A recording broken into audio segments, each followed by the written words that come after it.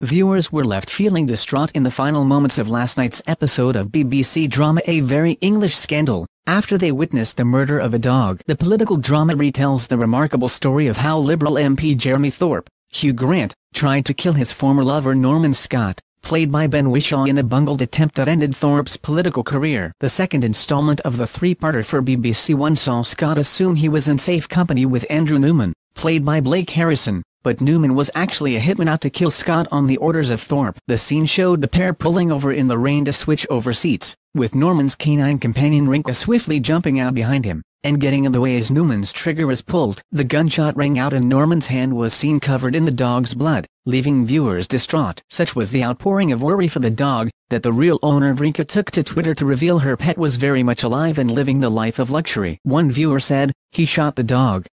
Outrage. Bring back hanging for crimes against canine abuse. Another cried, not the dog. Not the dog.